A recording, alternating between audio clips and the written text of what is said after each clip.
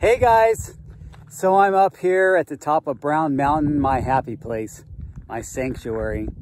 And today, like every other day or every day when possible, I like to come out here and get out into the mountains, get my exercise, get my cardio, and I just, I enjoy being outdoors. It's kind of an overcast, gloomy day, but it's still a nice day. It's still beautiful outside. It's still, the weather is, it's actually kind of spring light um, in California, which we really don't have the four seasons. We don't have, we just go straight from uh, semi-winter to summer. But this is actually spring type weather and uh, it's about 60 degrees. So um, it makes it nice for the climb. You don't you don't just get sweated out and be so hot and sweaty, but you still get a nice sweat on. I mean, I like to get a sweat on.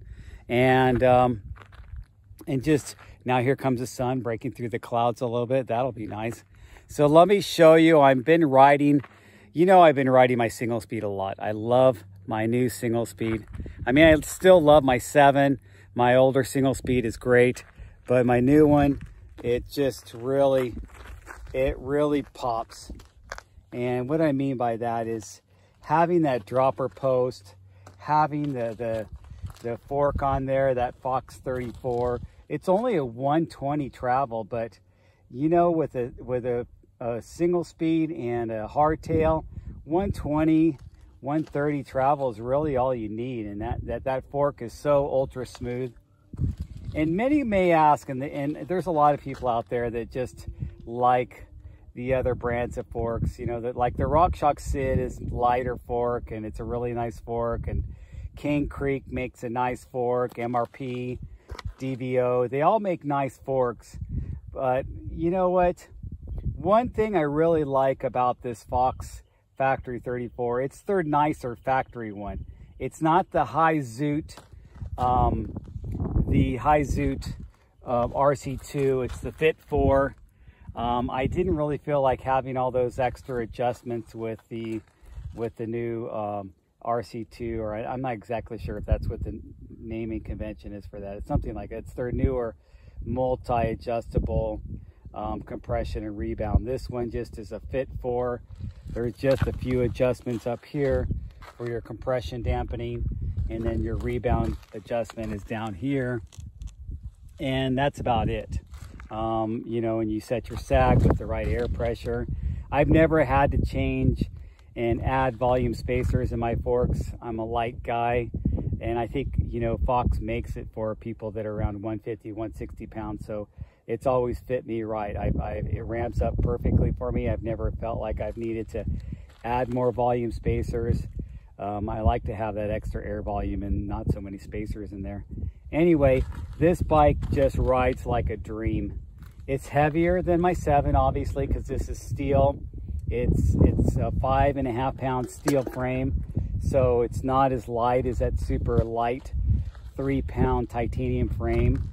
But the buddy on this and the feel of it with the, the way the steel is, it feels really, really good. And so I really like um, having a, a, metal frame, a steel frame, it just has a nice compliant feel. But you know, honestly, having huge tires like this, I have these Teravail big 2.8, and in the back I have this big Maxxis Rekon 2.6, and I have the Rimpact on there, and I have a huge wide 35 millimeter rim. And actually it's not Rimpact, it's CushCore. But either way, with wide rims and big tires, 2.6 and 2.8, you know, even an aluminum frame or carbon frame is going to feel pretty supple.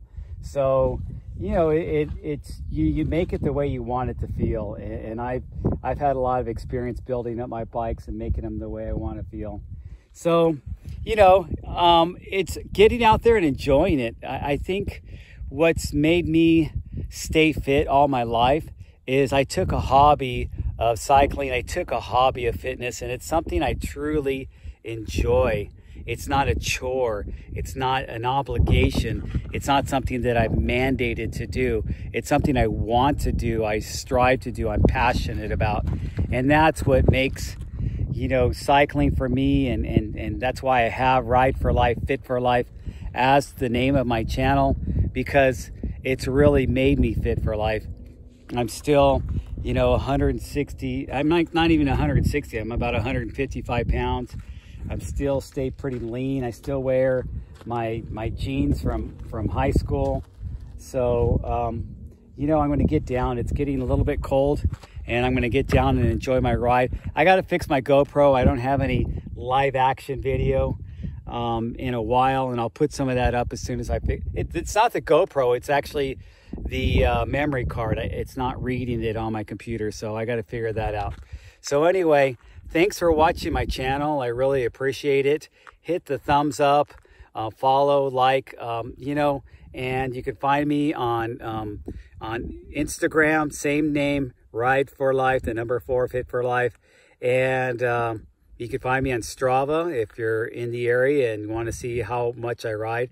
I am the local legend, like I said before in one of my past videos, because I ride so damn much. I ride every day. So get out there, get fit, find something you're passionate about, continue doing it, and health is wealth. So keep yourself healthy and wealthy, and I'll talk to you guys later.